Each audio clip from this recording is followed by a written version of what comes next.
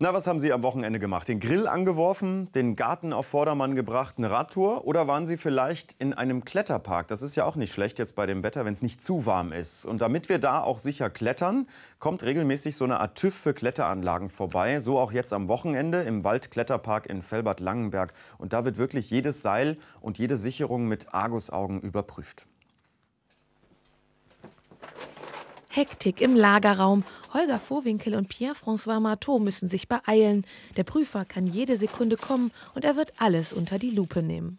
Es wird bestimmt was gefunden. Dadurch, dass wir jetzt so viel selbst gebaut haben, selbst installiert haben, dass wir uns mit einer guten, guten Grundlage gebaut haben. Wir haben uns viel Information vorher eingeholt, aber äh, man sich natürlich nie ganz sicher sein kann, ob es tatsächlich so ist. Nicolas Morel legt sofort los. Der Prüfer ist extra aus Frankreich gekommen.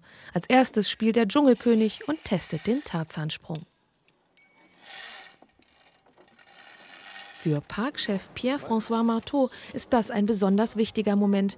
Wenn der Prüfer hier jetzt gravierende Fehler findet, kommt der ganze Zeitplan durcheinander. Juste une maille. Okay.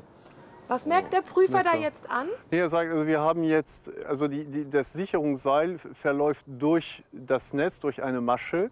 Wir haben schon zwei Maschen nach rechts verschoben und er sagt, das ist schon eigentlich gut, aber das wäre noch besser, noch eine Masche weiter nach rechts, dann sind wir gut. Das heißt, wir müssen jetzt das Seil wieder losmachen in die nächste Masche und dann ist okay. Also nur eine Kleinigkeit. Aber Verletzungen könnte sich der Chef in seinem Park auch nicht leisten. Deshalb müssen jetzt die Handwerker ran. Wir waren am Anfang fürs Grobe da und jetzt sind wir für den Feinschliff da, damit wir dann auch die Abnahme bestehen. Der Prüfer Nicolas Morel schaut ganz genau hin. Er hat Erfahrung, klettert in Parks auf der ganzen Welt und prüft. Davon kann auch Pierre-François Marteau profitieren. Kletterparks wurden eigentlich in Frankreich erfunden, Mitte der 90er Jahre. Und deswegen ist der Erfahrungsschatz in Frankreich wirklich erheblich größer als in Deutschland. Also der Prüfer hier, der verbringt, ich glaube, die Hälfte seiner Arbeit als Prüfer macht er in Kletterparks.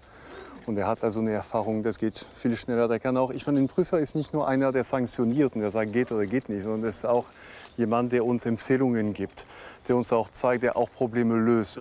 Aber der Prüfer notiert auch jedes Detail. Jetzt ist Augenmaß gefragt und der Chef muss mit ran.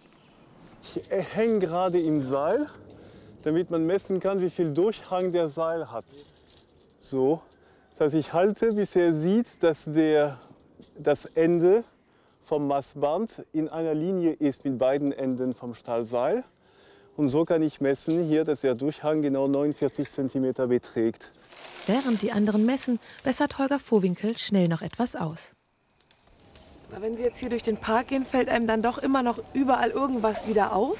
Ja, das geht aber die ganze Saison so. Ist immer so, dass man, wenn man mit wachen Augen durch die Anlage geht, immer was findest, was einen stört. Aber das ist auch der Job.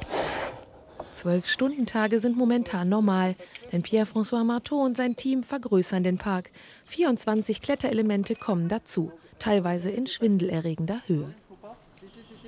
Für einen Teil der Besucher, die suchen den ultimativen Kick, unsere Adrenalin-Junkies, die wollen halt immer höher, mehr und weiter.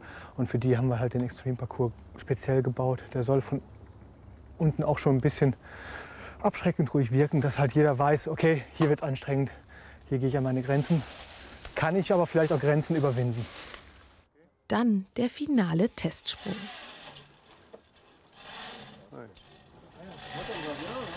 C'est bon, cette was? Hein? Er hat gesagt, jetzt, so ist wunderbar, so ist perfekt. Er sagt, als er das probiert hat, das erste Mal, bevor wir das feinjustiert haben, war das ein bisschen kritisch. Das, da, man kam sehr nah halt an diese Platine. Doch die Arbeit hat sich gelohnt.